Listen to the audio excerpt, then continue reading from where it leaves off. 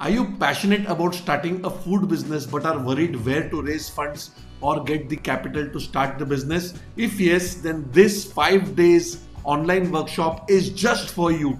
Don't miss this opportunity because it is going to change your life. Hi, this is Gopal Kamath. I'm a proud restaurateur with 20 years of experience, and till now, I have made thousands of people successful food business owners. I started this workshop for people like you who want to start a food business but are worried where to get the funds from. In this 5 days workshop, I will explain to you step by step methods of how to open a food business without a huge investment. After this 5 days workshop, your life will completely change.